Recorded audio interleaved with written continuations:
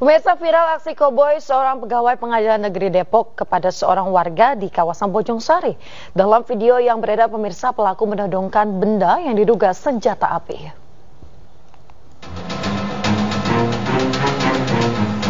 Dalam rekaman video yang diunggah seorang warga, tampak seorang pria yang diduga sebagai pegawai pengadilan negeri Depok menodongkan senjata api kepada warga sambil berteriak mengancam warga. Humas Pengadilan Negeri Depok Andri Eswin Sugandi membenarkan pria dalam video adalah DNO, staf bagian kepanitaraan di PN Depok. Pihaknya kini sudah memanggil dan memeriksa DNO terkait motif dan kepemilikan senjata. Pasalnya pegawai PN tidak ada yang dibekali senjata api. Memang benar, itu adalah pegawai kami. Tapi kejadian tersebut di luar jam kerja. Motifnya apa?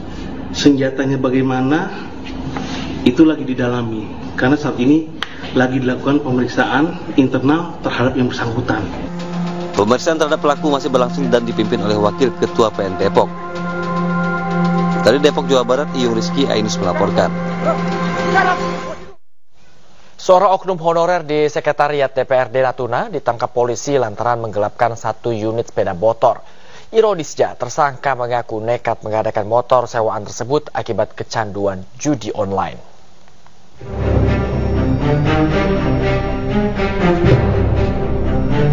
Z 35 tahun pegawai honorer di Sekretariat DPRD Natuna ini hanya bisa tertunduk pasrah saat digiring ke Polres Natuna ia ditangkap lantaran menggadaikan satu unit sepeda motor milik warga desa Ceruk, Kecamatan Bunguran Timur Laut, Kabupaten Natuna. Z diamankan di kos miliknya. Ia terbukti menggelapkan sepeda motor milik korban sebesar 1,5 juta rupiah. Uang tersebut digunakan tersangka untuk bermain judi online karena kecanduan. Menyewa kendaraan orang lain, kemudian kendaraan sewa tadi didalilkan kepada orang lain lagi dengan nilai sebesar satu juta lima ratus. Nah, uang satu juta lima ratus ini digunakan untuk apa? Yang satu juta digunakan untuk membayar sewa kos-kosannya, yang lima ratus lagi digunakan untuk bermain judi online. Parahnya, tersangka juga mengaku menggelapkan beberapa unit sepeda motor milik warga Natuna namun hingga kini, polisi baru menerima laporan dari satu warga saja. Dari Natuna, Alfi Al-Rashid, Ainus melaporkan. Pemirsa seorang wanita menjadi korban penjamretan di kota Bogor, Jawa Barat. Korban bahkan sempat terseret motor pelaku hingga ratusan meter saat berusaha mempertahankan dompet dan juga ponselnya.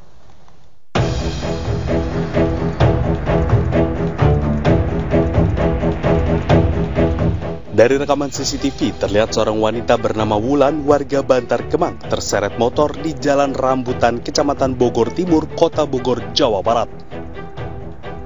Peristiwa terjadi ketika korban bersama ibunya tengah berbelanja di sebuah warung.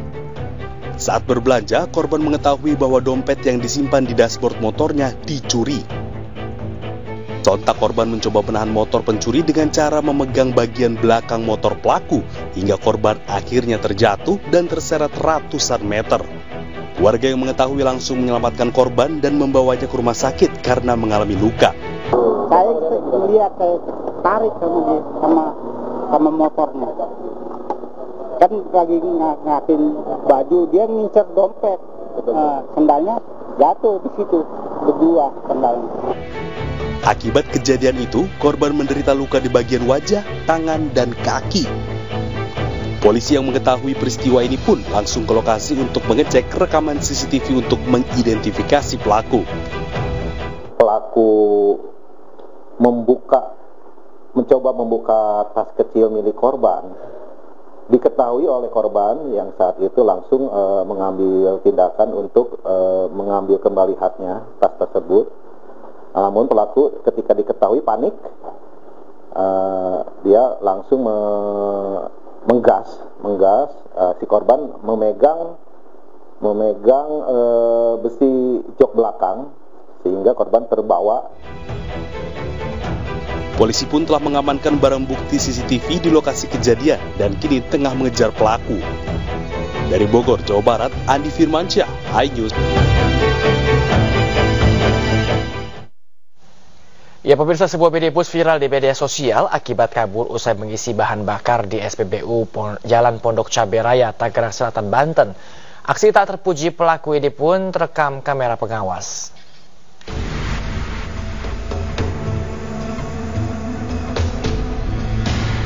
Inilah detik-detik sebuah minibus kabur usai mengisi bahan bakar di SPBU Jalan Pondok Cabe Raya, Tangerang Selatan, Banten. Peristiwa bermula saat petugas jaga yang pada saat itu hendak memberikan struk pembayaran, namun seketika pelaku langsung tancap gas tanpa melakukan pembayaran. Atas kejadian ini, pihak SPBU melapor ke polisi karena menderita kerugian ratusan ribu rupiah. Kadit Reskrim Polsek Pamulang, Ibtu Wawan Dodi Irawan mengatakan pihaknya telah memeriksa sejumlah saksi dan rekaman CCTV. Terkait kasus ini, polisi mengimbau petugas jaga SPBU untuk selalu aktif memberitahukan pelanggan agar mematikan mesin saat mengisi BBM. Selain itu, hindari kejadian serupa terjadi. Mematikan mesin saat mengisi BBM juga untuk menghindari terjadinya kebakaran. Dari Tangerang Selatan, Banten, Nunung Purnomo, iNews melaporkan. Pemirsa truk tangki pengangkut minyak goreng terguling di Kecamatan Jetis, Mojokerto. Akibatnya 7 ton minyak goreng tumpah dan warga langsung menjarahinya.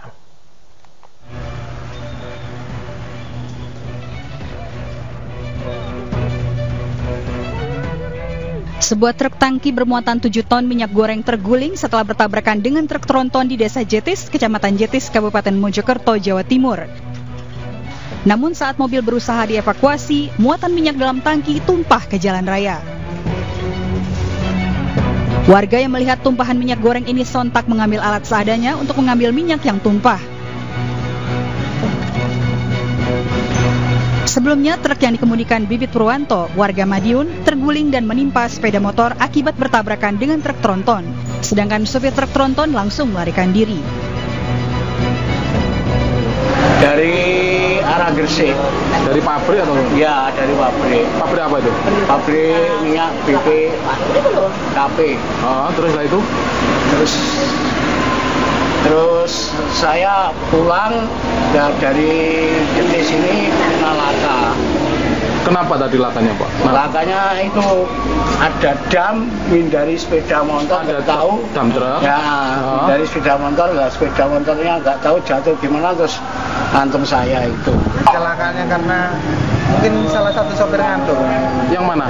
Yang tanggi yang tanggi ya, terlalu, terlalu nengah terlalu nengah ya. kondisinya mas gimana? Kondisi saya nggak apa-apa cuma sepeda yang hancur. Selama proses evakuasi truk, arus lalu lintas dari Mojokerto menuju Jetis dan sebaliknya ditutup sementara. Pengendara motor dilarang lewat karena jalan licin terkena tumpahan minyak goreng. Kasus kecelakaan ini dalam penanganan Satlantas Polres Mojokerto.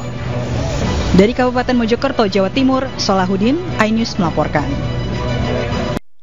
Ya pemirsa sekelompok orang tidak dikenal menyerang rombongan jemaah pesantren Al-Baghdadi di Rengas Dengklok, Karawang, Jawa Barat.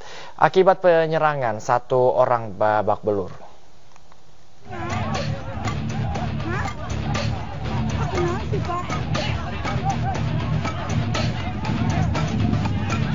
Puluhan orang tak dikenal menghadang rombongan kendaraan jemaah pesantren Al-Baghdadi di Jalan Irigasi Warung Doyong, Ranges Dengklok, Kabupaten Kerawang.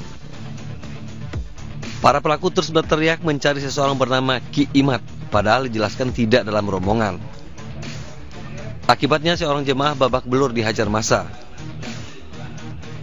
Sebagai mungkin itu saya dan guru saya, saya refleks turun dari motor menghadang mereka dan mereka berteriak-teriak mana Ki Imat.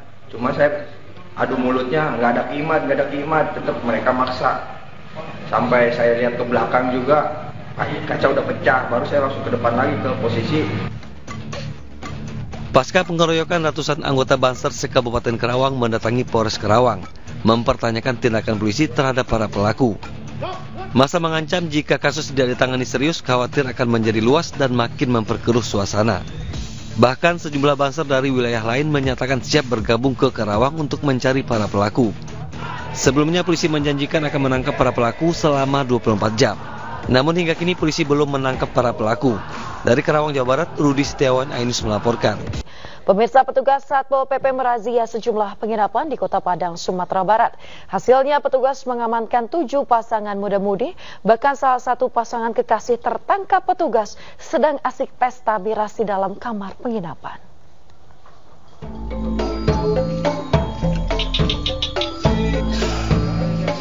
Satu persatu kamar hotel diperiksa oleh petugas Satpol PP Kota Padang saat menggelar razia pekat. Alhasil, didapati sejumlah pasangan muda-mudi di dalam kamar yang tidak bisa membuktikan sebagai pasangan suami istri. Selain itu, petugas juga mendapati sepasang kekasih yang menggelar pesta miras di dalam kamar. Petugas juga mendapati seorang wanita yang diduga PSK berkodok tukang pijat panggilan saat sedang melayani seorang pria di dalam kamar. Sebanyak tujuh pasangan muda-mudi yang terjaring razia kemudian dibawa ke Mako Salpol PP guna didata dan mendapat sanksi sesuai perda yang berlaku. Berikutnya kita juga menyisir penginapan. Di penginapan kita juga mendapatkan lima pasang uh, pemuda-pemudi yang bukan terikat dalam status pernikahan. Jadi untuk itu ketujuh pasang pemuda-pemudi ini kita bawa ke Satpol PP untuk ditindak dan diproses selanjutnya. Razia pekat digelar Satpol PP berdasarkan laporan dari masyarakat yang resah dengan aktivitas prostitusi terselubung dan hubungan bebas anak muda di sejumlah penginapan di Kota Padang. Dari Padang, Sumatera Barat, Budi Sunandar, Ainis melaporkan. Pemirsa pemeran pria dalam video asusila yang melibatkan anak mantan vokalis band ditangkap Polda Metro Jaya. Pemeran pria berinisial AP adalah mantan kekasih AD.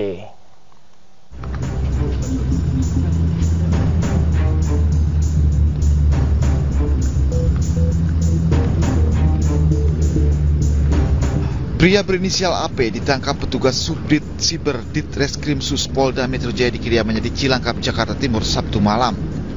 Di hadapan penyidik, AP sempat mengelak dan tidak mengakui telah menyebarkan video asusila bersama Ade yang merupakan anak mantan vokalis band.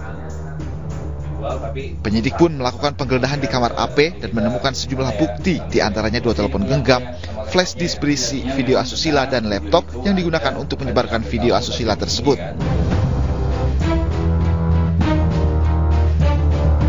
Sebelumnya, video anak mantan vokalis band viral di media sosial. Polisi memeriksa Ade sebagai saksi. Selain itu, polisi juga telah menahan dua orang yang menyebarkan video asusila mirip anak mantan vokalis band tersebut. Dari Jakarta, tim liputan iNews melaporkan.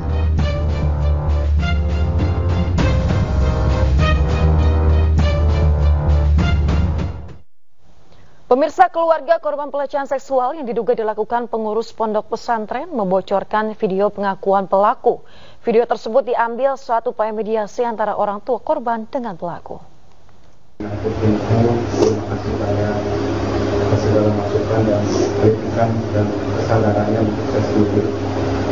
Sekali lagi, saya atas nama pribadi memohon maaf yang sebesar Mudah-mudahan dari kejadian ini saya pribadi dapat lebih banyak belajar dan ada hikmah di balik semua satu demi satu bukti fakta kasus pelecehan yang menimpa sejumlah santriwati pondok pesantren yang berada di daerah Karawang terbongkar. Orang tua korban membuka video proses mediasi yang dilakukan dengan pihak pondok pesantren. Dalam video ini, pelaku mengaku menyesal dan meminta maaf atas perbuatannya. Sebelumnya, pribadi Bapak sekali lagi mohon maaf atas semua tindakan hilaf Bapak kepada kalian. Mudah-mudahan kalian sulit untuk memaafkan Bapak. Dan sekalipun kalian tidak memaafkan, Bapak akan sholat taubat hari ini kepada Allah. Padahal sebelumnya Kiki Andriawan, pimpinan pondok pesantren yang juga meyakini tidak ada perbuatan pelecehan seksual terhadap santriwatinya. Ia juga memastikan sudah terjadi perdamaian serta kesepakatan dengan pihak warga. Di waktu satu hari puasa itu sebenarnya sudah dimusyawarahkan dengan para wali santri, hmm. gitu. Bahkan di saat itu pun uh, semua para wali santri di akhir daripada ending semua yang setelah di statementkan kepada saya pun sudah saling Islam mengislahkan, saling maaf memaafkan. Namun ketika selepas anak-anak kelas 9 lulus dan mendapatkan ijazah, mereka langsung membuat reaksi yang lebih jauh lagi di luar dugaan kami begitu.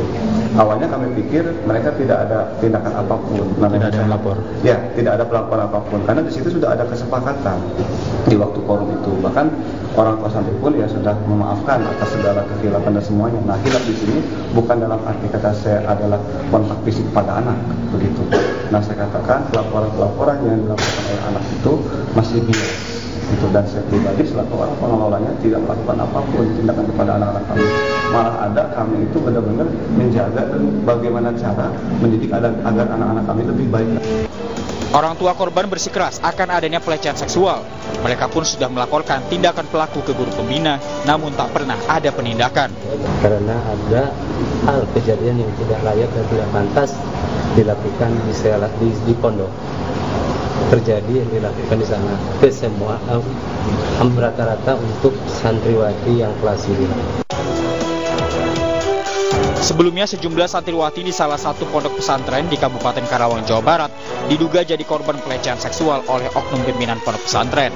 Kasus ini terungkap usai korban menghubungi orang tua mendesak dan meminta dipulangkan ke rumahnya karena ketakutan.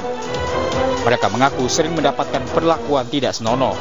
Dari Karawang, Jawa Barat, Rudi Setiawan, iNews melaporkan. Pemirsa keluarga korban penganiayaan pemilik daycare Ransom School Depok Jawa Barat melapor ke LPSK karena korban mengalami trauma. Rencananya polisi akan melimpahkan berkas perkara ke kejaksaan pekan ini.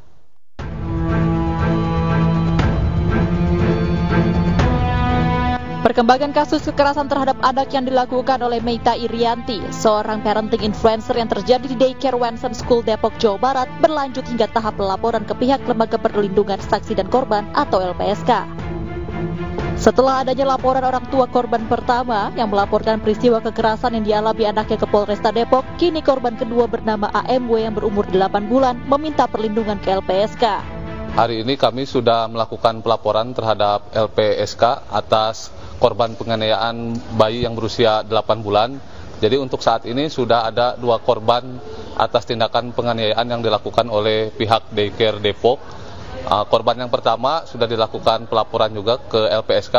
Kondisinya saat ini anaknya mengalami trauma dan batuk-batuk hingga rewel anaknya ini.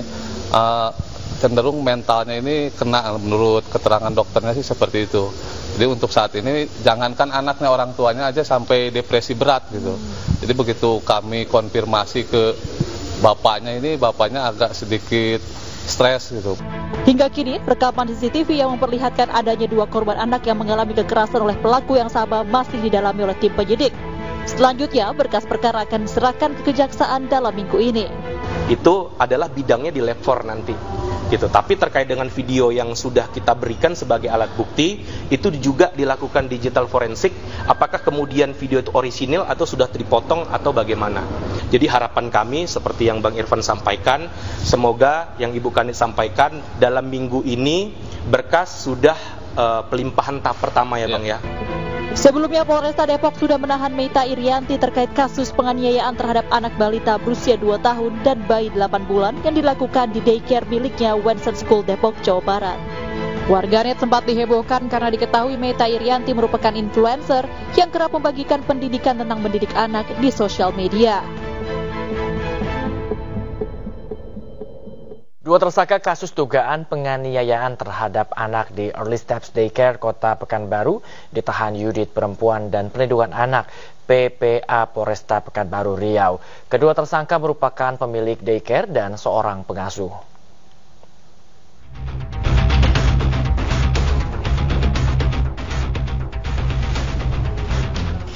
Setelah melakukan serangkaian proses penyelidikan dan gelar perkara, Unit PPA Polresta Pekanbaru menetapkan dua orang tersangka kasus dugaan penganiayaan terhadap anak di daycare Kota Pekanbaru.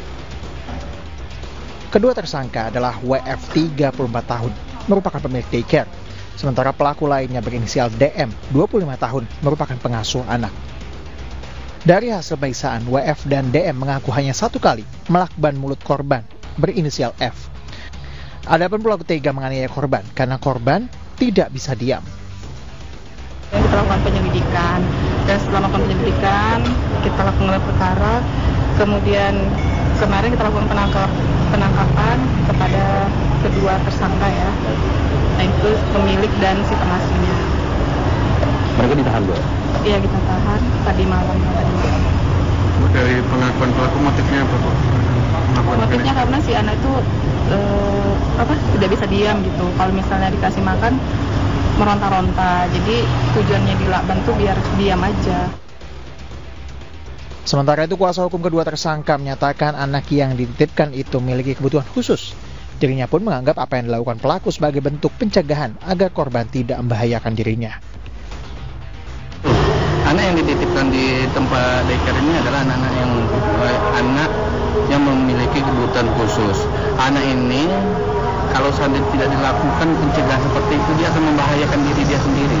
Jadi ini dari sumbernya dari klien saya. Atas perbuatannya, kedua tersangka dijerat dengan Undang-Undang Perlindungan Anak dengan ancaman hukuman 3 tahun 6 bulan penjara. Dari Pekanbaru Riau, Indra Yose Rizal Anyus melaporkan.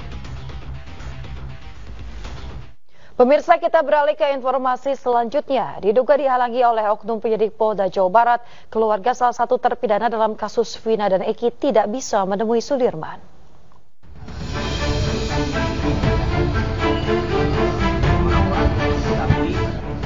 Kakak kandung Sudirman, salah satu terpidana kasus pembunuhan Vina dan Eki mengungkapkan kesulitannya selama ini untuk bertemu Sudirman. Berbagai upaya sudah dilakukan termasuk komunikasi dengan pengacara yang ditunjuk oleh Polda Jabar. Keluarga menjelaskan ada oknum kepolisian yang memberi jawaban jika ingin bertemu dengan Sudirman harus seizin tim penyidik. Bahkan pihak keluarga juga sudah melayangkan surat ke Kemenkumham Kanwil Jawa Barat, namun belum ada tanggapan. Nah, itu langsung pencabutan kuasa juga tanpa pengetahuan saya dan keluarga. Oh gitu. Tiba-tiba udah cabut? Ya, itu juga nggak bertemu sama saya sama keluarga, nggak ada ujungnya. Hmm. Udah ada aja. Tiba-tiba dari Polda gitu. Hmm. Dari Polda. Nah, saya keluarga juga nggak pernah ngobrol dan ketemu. Sementara itu kuasa hukum Pegi Setiawan sekaligus praktisi hukum Tony RM menanggapi jika untuk bertemu Sudirman pihak keluarga harus izin kepada penyidik, oknum penyidik Polda Jawa Barat tersebut telah melanggar hukum. Kalau memang yang dikatakan oleh keluarga dan oleh keluarga Sudirman itu benar bahwa Sudirman itu masih dalam penguasaan oknum e, penyidik Polda Jawa Barat, maka tindakan oknum penyidik Polda Jawa Barat itu adalah tindakan yang melanggar hukum. Kenapa kami katakan melanggar hukum? Karena penyidik Polda Jawa Barat itu sama sekali tidak mempunyai hak dan tidak mempunyai kewenangan untuk menguasai seorang Sudirman yang statusnya itu sudah terpidana. Sudirman merupakan salah satu dari tujuh terpidana kasus pembunuhan Vina dan Eki yang kini masih mendekam di tahanan. Ketujuh terpidana tersebut difonis seumur hidup. Dari Cirebon, Jawa Barat, Miftahudin, iNews melaporkan. Saka Tatal mantan terpidana kasus Vina dan Eki akan penuhi panggilan Baris Krim Polri sebagai saksi terkait dugaan keterangan palsu yang melibatkan Aep dan Dede. Pemeriksaan akan dilakukan Selasa 13 Agustus hari ini.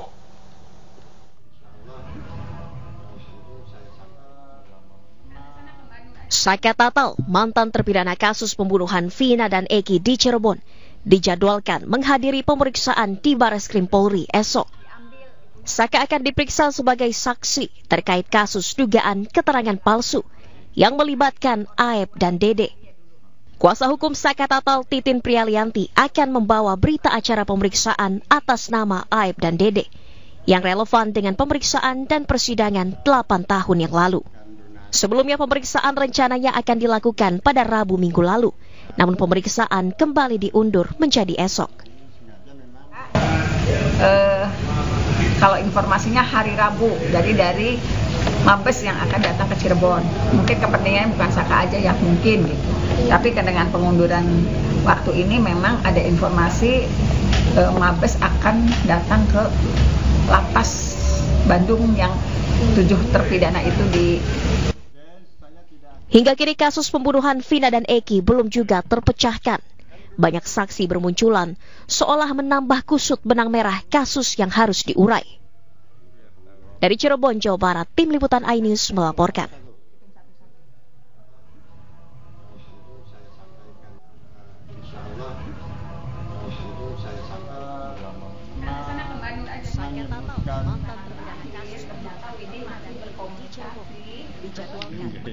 Kalau dua mas saya terima diambil ibunya tadi ke sore belum sempat jadi mungkin ini yang dilaporkan oleh Jadi- jadi Pradi, nanti- ada orang tua dan Pradi ya dulu. Jadi nanti yang akan disampaikan oleh karena eh, anggota Pradi yang lain juga akan mendampingi yang tujuh terpidana. Hari ini kebetulan Saka juga ada ikan donasi lewat eh, akun kami. Dan tadi Anda kembali menyaksikan News Pagi, pemirsa. Kita ke informasi lainnya, di mana Menko Perekonomian Erlangga Hartarto menyindir soal kursi ke Menteri Investasi Bahlil Lahadalia. Saat bertemu di sela kunjungan kerja di Ibu Kota Nusantara, kelakar tersebut terjadi setelah nama Bahlil masuk dalam bursa PLT Ketua Umum Golkar usai Erlangga mundur. Dapat semua boleh ditarik Pak Kursinya Pak Kapolri aja diambil lah Bapak.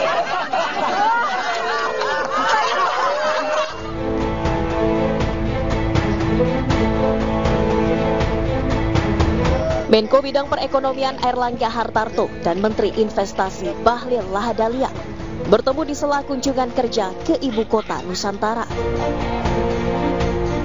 Momen ini merupakan kali pertama keduanya bertemu pasca pengunduran diri Erlangga Hartarto dari jabatan Ketua Umum Partai Golkar pada hari Minggu kemarin.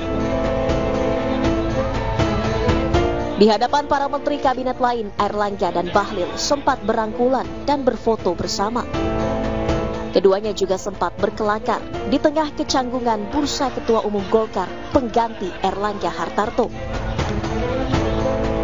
Bahlil yang hendak duduk bersama dengan para menteri lain kemudian menarik kursi yang posisinya berada di hadapan Kapolri Jenderal Listio Sigit Prabowo. Di momen inilah Erlangga melontarkan sindirannya soal kursi. biar dapat semua boleh Ditarik Pak Kursinya Pak Kapolri aja diambil lah Bapak. Momen kelakar antara Erlangga dan Bahlil sontak membuat para menteri lainnya tertawa. Pasalnya candaan itu terjadi di tengah dinamika di internal Partai Golkar. Pasca mundurnya Erlangga Hartarto sebagai ketua umum. Nama Bahlil Lahadalia menjadi salah satu nama yang disebut-sebut berpotensi menggantikan Erlangga sebagai ketua umum Partai Beringin. Tim Liputan iNews melaporkan. Pemirsa ribuan orang mengikuti ajang lari di Taman Mini Indonesia Indah. Selain hadiah uang total ratusan juta rupiah, para peserta juga dihibur band papan atas.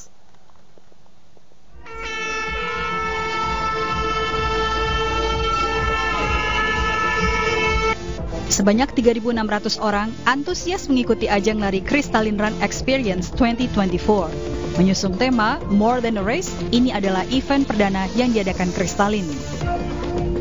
Para peserta terbagi dalam tiga kategori, yaitu 2,5 km, 5 km, dan 10 km. Berlangsung di Taman Mini Indonesia Indah, lokasi ini dipilih karena bebas kendaraan sekaligus peserta bisa menikmati pesona budaya Indonesia. Crystalline Run Experience ini adalah yang pertama kami lakukan. Ini flag event Crystalline yang pertama. Karena kami melihat hype dari uh, tren masyarakat gaya hidup sehat, terutama olahraga lari. Kalau kita bandingkan 2023 sampai 2024 itu naiknya 60% jumlah event larinya. Nah, Crystalline Run ini mewadahi lah, mewadahi antusiasme para pelari, terutama masyarakat Indonesia yang memang ingin punya gaya hidup sehat. bagus, senang banget gitu loh. Ya biasanya kan lari kalau udah yang kategori serius pasti yang buat dewasa semua. Nah untuk Crystalline Run Experience ini, ini benar-benar pengalaman yang bikin happy buat keluarga yang pengen ngajak anaknya lari, bangun pagi dan anaknya untuk beberapa saat, beberapa jam ini nggak megang gadget itu kan sesuatu yang bagus juga gitu loh. Sebenarnya Kristalin ini mempunyai tiga pilar, jadi uh, olahraga, kuliner, dan musik. Kita masuk ke dunia olahraga karena kita ngerti bahwa setiap olahraga itu membutuhkan hidrasi, butuh air minum. Jadi kita rasa Kristalin cocok masuk ke dalam dunia olahraga. Kristalin Run Experience 2024 juga dimeriahkan band-band ternama serta total hadiah sebesar 100 juta rupiah untuk para peserta yang menang. Dari Jakarta, Anggita Maura, Seto Pratomo, iNews melaporkan. Pemirsa menyambut HUT ke-79 Republik Indonesia digelar turnamen futsal bagi Gen Z dan Alpha di daerah perbatasan Indonesia dan Timor Leste. Ya, para remaja di kota Atabua, Kabupaten Belu antusias saat mengikuti turnamen futsal Pokdar Kamtipnas Bayangkara Polda NTT. Dan diikuti 36 tim, turnamen futsal U14 ini bertujuan untuk mempererat tali silaturahmi antara remaja di wilayah perbatasan. Di partai final, tim Allen FC berhasil menekuk tim Central FC dengan skor 4-0.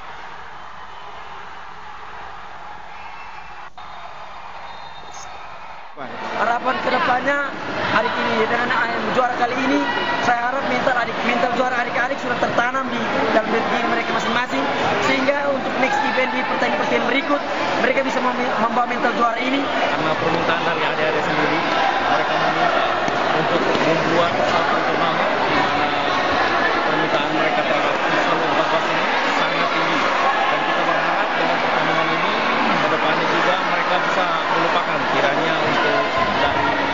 gejala-gejala seperti merokok.